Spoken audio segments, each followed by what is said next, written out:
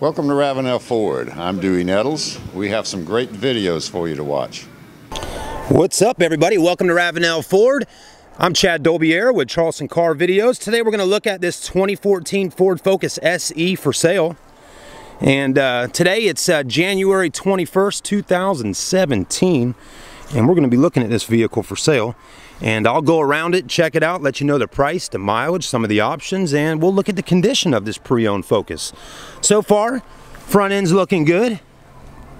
I'm liking the color, kind of a magnetic gray. I think that's the name of it. We'll see in just a minute.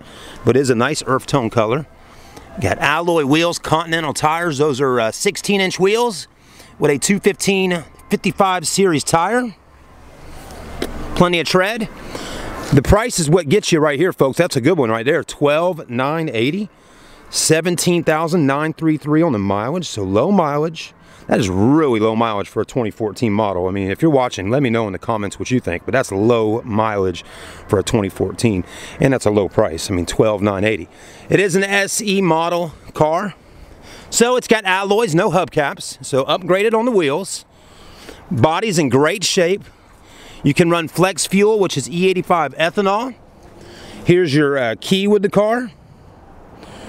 Hit this twice. That should uh, hit the unlock button. Hit that twice. Hold on. Here we go. Booyah. All right, something was going on. Anyways, we got it. Plenty of cargo space in the trunk on the Focus, as you can see. Enough to get some subwoofers back there, get your luggage in, put the strollers in. Whatever you need to do, you can do it in the back of the Focus. It's got plenty of room in the trunk. Back seat folds right on down for you. Not bad at all.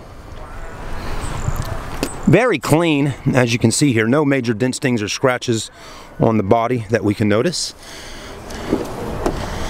Power windows, power door locks, power mirrors. This one's got your gray and black interior cloth seats. No power seat option on this particular car. It does have cruise control, audio functions, and Bluetooth cell phone system. So there's another nice feature you're going to get on your SE model. Got these nice display screens in here. Cold AC. Very clean little car. Not bad at all. Got some room in the back.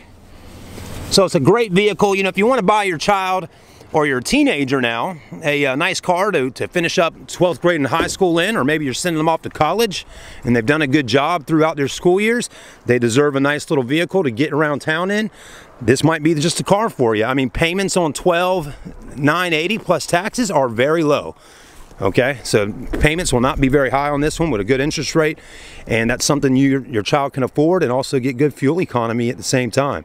So uh, that's always a plus good fuel economy. Saves a little money in those kids pockets so they can still buy them some cool shoes and clothes while they're going to college right? Anyways have a great day. We'll see you soon. I'm Chad Dolbier don't take my advice. Don't take my advice folks. But just just have a great day. We'll see you soon